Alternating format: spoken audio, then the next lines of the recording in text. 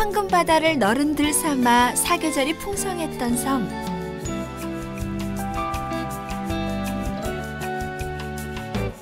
누구든 일한 만큼 거둘 수 있어 욕심을 모르는 소박한 사람들이 모여 사는 곳.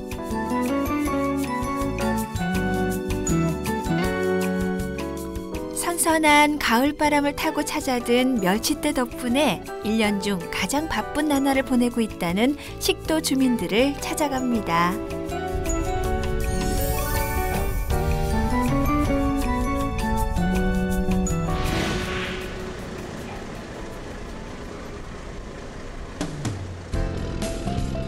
변산반도의 서쪽 끝 격포항에서 100km 1시간여 떨어진 곳에 식도가 있습니다. 고슴도치 섬이라 불리는 위도와 마주한 섬인데요. 고슴도치 입 앞에 자리한 모양이 먹이처럼 보인다 해서 밥섬이라 불리게 됐답니다.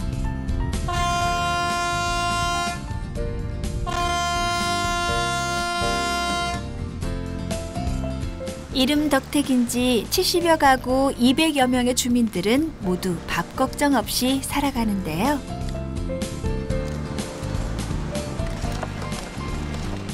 구경할 만한 관광지도 없고 이름난 특산품도 없는 탓에 섬은 잘 알려지지 않았지만 사계절 여유로운 바다 사정만큼은 이름난 곳이지요.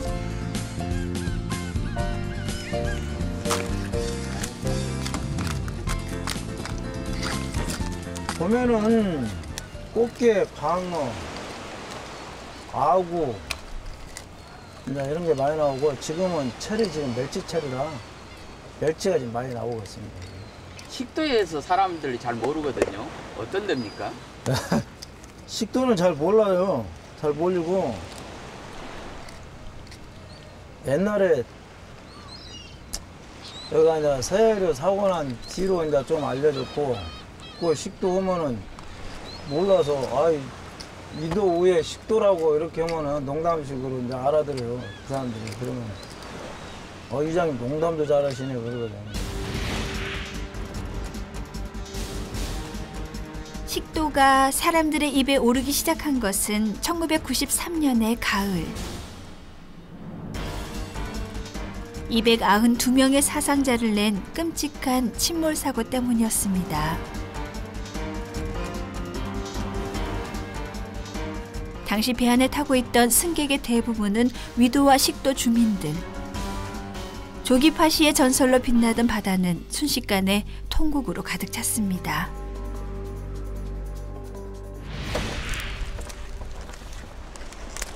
식도 하면은 옛날에는 여기가 조기 팥이 아주 유명했어요.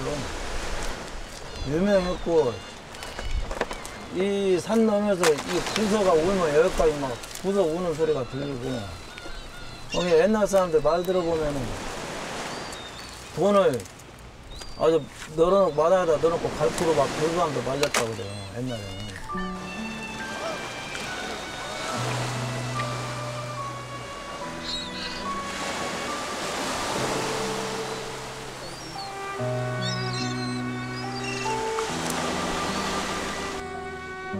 한 시대를 풍미했던 파시의 영광은 점차 희미해져 가는데 어째서 아픈 기억은 세월이 갈수록 더욱 선명해지는 걸까요?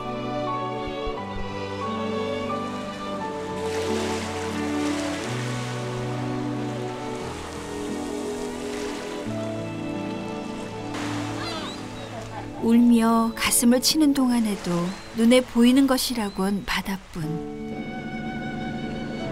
섬을 떠나지 않는 한 사람들은 다시 바다에 의지해 살아야만 했습니다.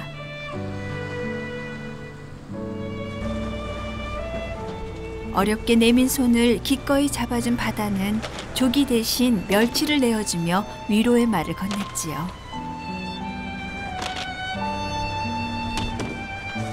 요 위도 주위에 가는 1마일 한 3마일 거리에서 3마일 안쪽에서 많이 잡거든요 여기요 근데 작년같이 멸치 안 나와가지고 올해 지금 멸치 좀 많이 나네요 지금 가격도 좋고 그래서 괜찮은 것 같아요 지금 멸치는 어떤 멸치입니까? 뭐 멸치 종류 여러 종류의 분류 지, 지방마다 다 틀려요 이게 그 부르는 그 멸치가요. 근데 여기서는 이제 지리멸이라고 멸치 좋은 가격에 잘 나와요 이게요. 남자들은 수시로 바다로 향하고 안악들은 멸치를 말리느라 정신이 없는데요. 9월부터 11월까지 식도의 1년 중 가장 바쁜 시기입니다. 양이 엄청 많은 것 같네요. 그렇게 많이 난 건 아니에요. 지금 많이 난 것 같은데 그렇게 많은 양은 아니고 조금 이 멸치가 종류가 틀리거든요. 다른 이거는- 때는 이런 게 아니고 주바 그런 게 났었어요. 근데 지금 이거 실치라고 여기서 하거든요. 이게 아 가장 작은 멸치예요? 네, 실치. 바이로 같은 거, 지리멸 같은 거 그런 거 놔야 되는데 지금 이건 제일 나아요 가격이. 이건 그냥 도시락 반찬 좀 비싸요. 그러니까 박스 한 박스에 한 평균 2만 2만 원 가는 거예요 이게. 이맘때 잡히는 멸치는 지역에 따라 부르는 이름이 다르지만 일반적으로 새멸과 자멸이라 불리는 녀석들인데요.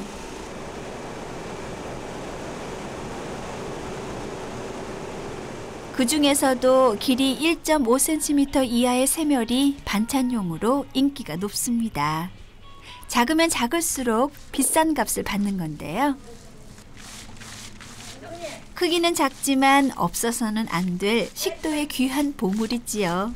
덩어리져 갖고 체질만 하고 잘 안 빠져. 손으로 비벼야지 이게 덩어리가 깨지면서 빠지지. 건조기에서 막 나온 멸치를 일일이 손으로 풀어내는 안악들. 덩어리 있는 거 깨끗이라고 이렇게 제발이다 놓고 이게 덩어리 있는 놈을 자 여기다 놓고 이렇게 비비면서 좀 풀어져요. 풀어져 갖고 이제 이 밑으로 내려가. 그렇게 하려고.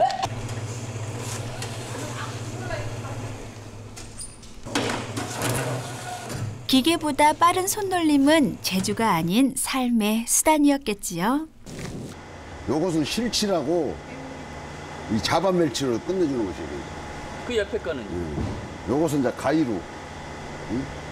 요것도 가위로인데 이 볶아 먹은 멸치는 아주 좋아요 이게. 요거는 뭡니까? 이거? 요건 꼴뚜기. 그 저 어물점 망신은 뭐 꼴뚜기가 시킨다고. 근데 이 꼴뚜기 요것이 영양가가 엄청 좋아요. 애들을 애들이 요 꼴뚜기를 먹으면 머리가 좋아져. 요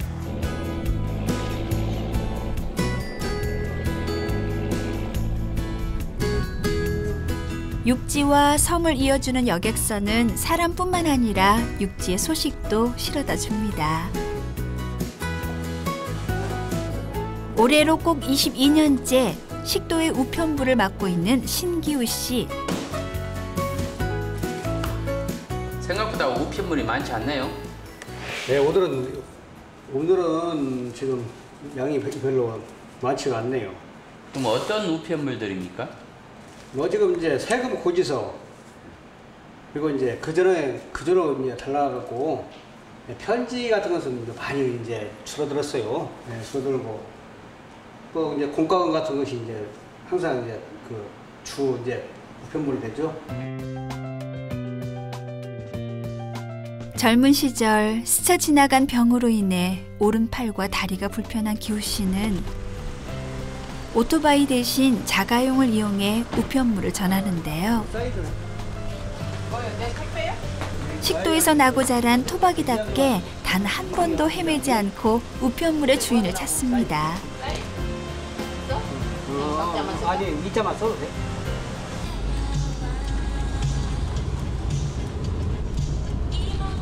신나는 노래로 적적함을 달래며 섬의 이곳저곳을 누비는 기우 씨.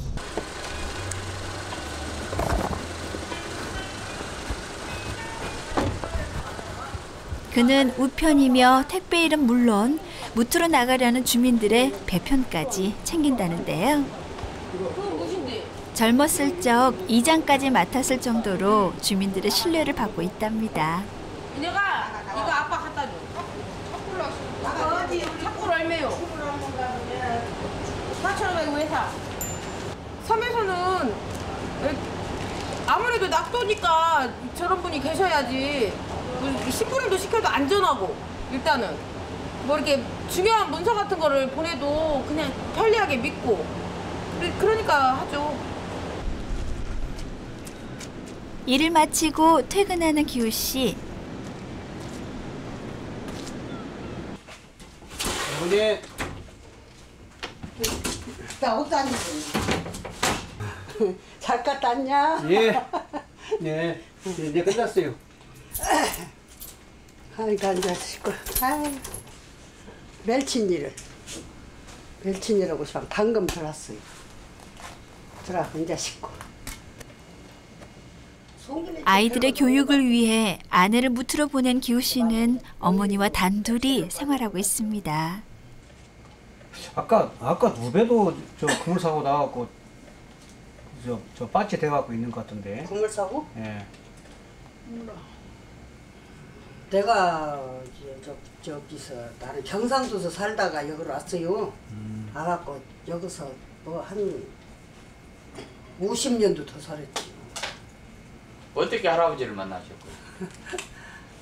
우리 아버지가 데리고 와갖고 경상도에서 이런 데 데리고 와갖고는 어찌게 애로서 어찌게 와갖고 곤란하게 살다 본 게 몇 가지 와갖고 배 타고. 그 당시에는 참 이렇게 힘들으셨죠 여기 섬 생활이. 에 아이고 굶고. 말도 마시고 일로 일로 아주 그냥 짜들어져 그래갖고 이 나이 먹더라 참. 여기서 고생하고 사니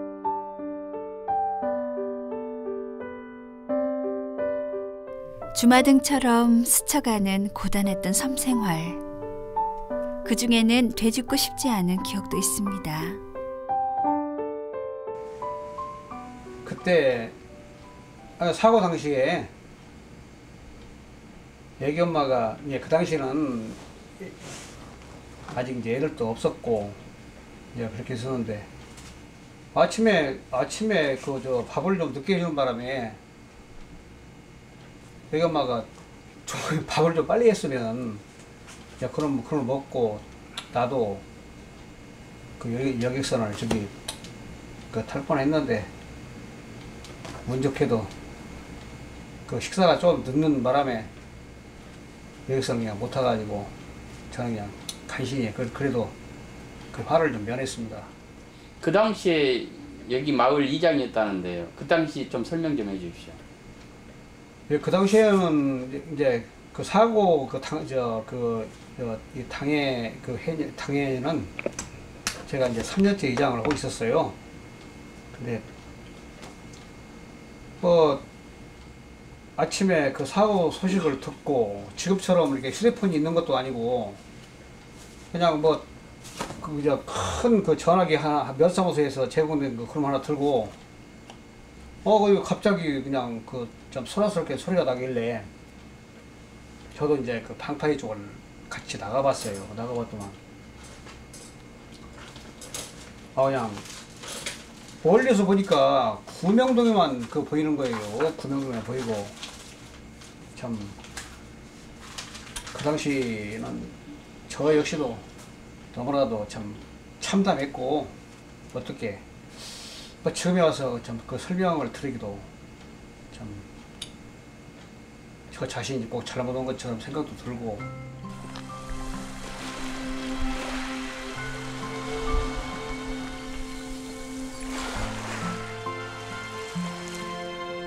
잊혀지지도 지워지지도 않는 그날의 아픔.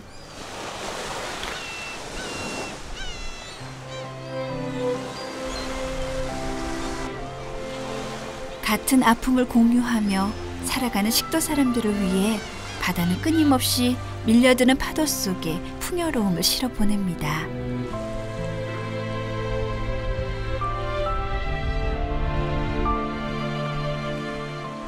약속하지 않아도 때가 되면 찾아오는 멸치때처럼 식도 주민들의 마음에도 행복이 찾아들고 있습니다.